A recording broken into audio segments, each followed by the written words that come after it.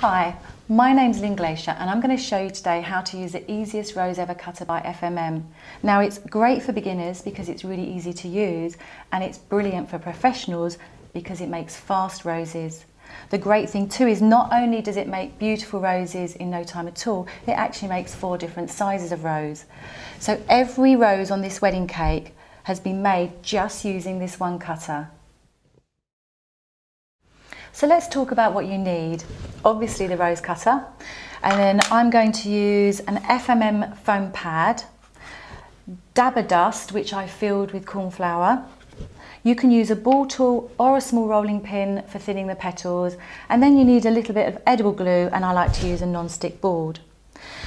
Now talking about icings, you can actually use the cutter with marzipan icing or modelling paste, but the best medium is to mix together equal quantities of sugar paste, sometimes called fondant, and modelling paste, some people call it gum paste. And the reason for this is because the sugar paste stays soft enough to let you work the petals, and the modelling paste firms the rose up so that you can put it on the cake without the roses or the rose petals breaking. So just take equal quantities of both icings and knead them together.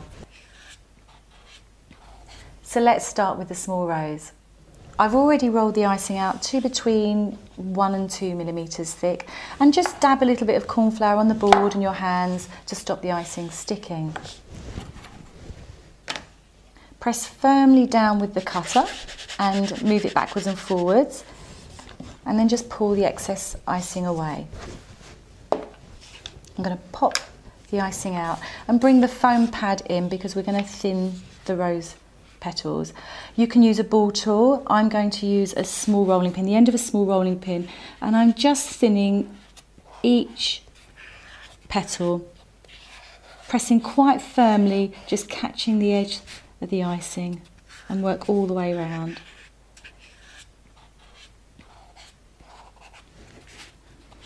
Think that looks about right. Take some edible glue and I'm painting a line just above the centre and fold the shape in half.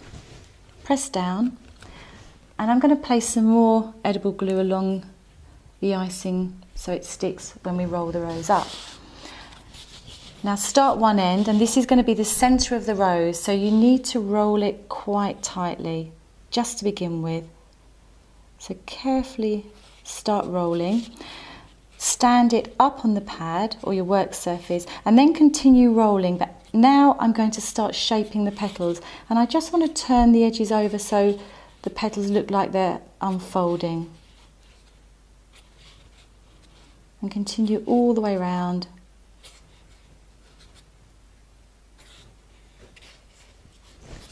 like so. And there you have your small rose. Now to make a medium rose, I'm just going to put another layer of petals onto the small rose. So I've got my shape cut out and I'm going to thin the rose petal edges again. I'm doing exactly the same as I did before, like so. Brush a line of glue fold over and another line of glue. Now take your small rose,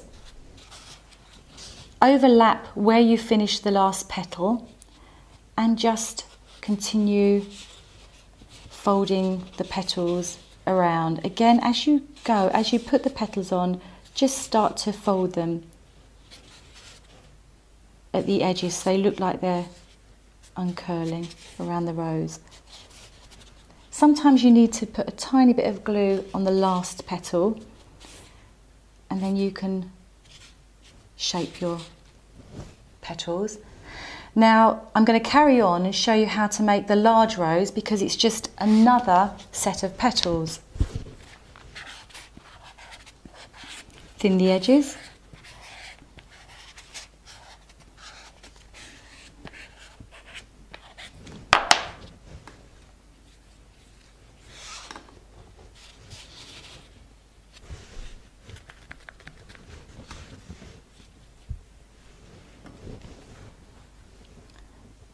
Start where your last petal is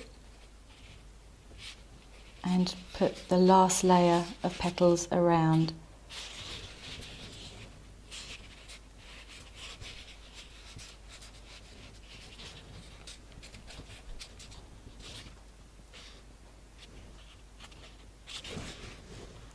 And there you have your large rose. To make the rosebud, we're going to use just part of the cutter. So count along two petals each side and cut the shape at an angle. Then it's back to thinning the petals.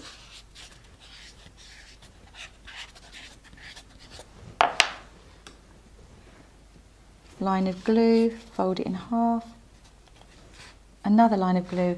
And we're going to fold it starting at this end which is the centre of the bud so it has to be really tight. So this is where you have to be a little bit careful.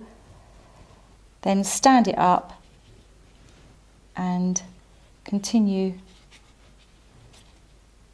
rolling. And there you have your bud. Now what you can do is just bring in the other piece of icing and make a slightly larger bud in exactly the same way using that. I'm going to finish this beautiful cascade of roses. Make sure you've left your roses overnight to harden and then all you need to do is just cut the back, the base of the rose at the relevant height and angle.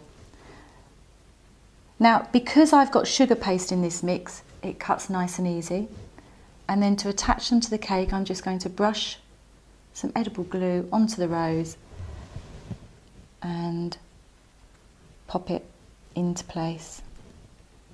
I'm going to do one more rosebud.